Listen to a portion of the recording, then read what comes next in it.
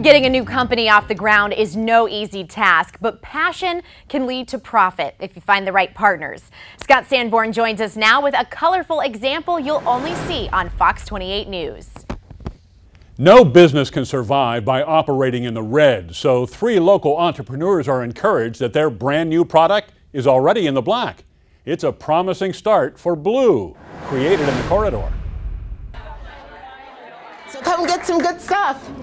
Dozens of local businesswomen recently gathered in Cedar Rapids to beat the winter blues, but they ended up enjoying some blues. What are you drinking? Bleu vodka. And what do you think? It's very good. Very good. It's all, all natural. It's all natural, fruity. It's very good. It's smooth.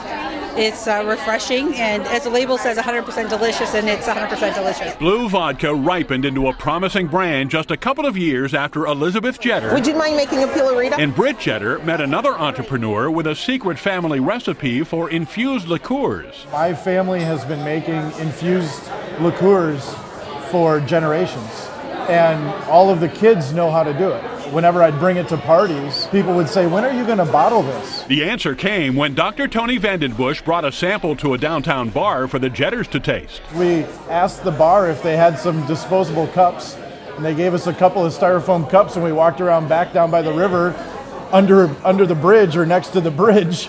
And we had a paper bag with some of the product, and we we're pouring it in styrofoam cups down by the river to try the product. And he talked about vodka, and I was like, you know what? I think that one would work.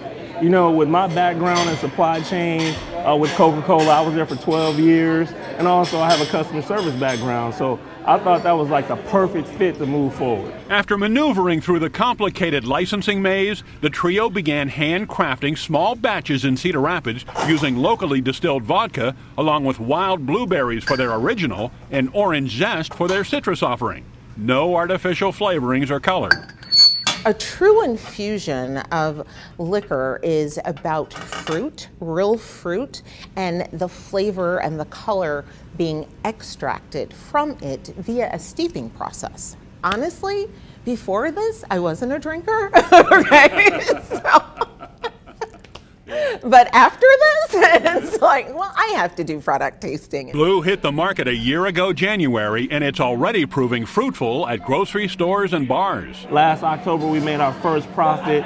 The fact that we're in over 75 locations here in Iowa and also branching out into Chicago. Meanwhile, back at the party. Oh, yes, this is the citrus. Yeah, yes. I'm enjoying it. How does it compare to other products that you've had like this?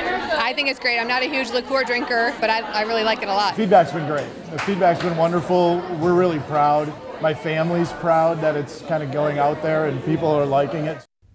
The company is now seeking investors with hopes of expanding globally. We have a link to more information about Bleu Vodka under this story at fox28iowa.com.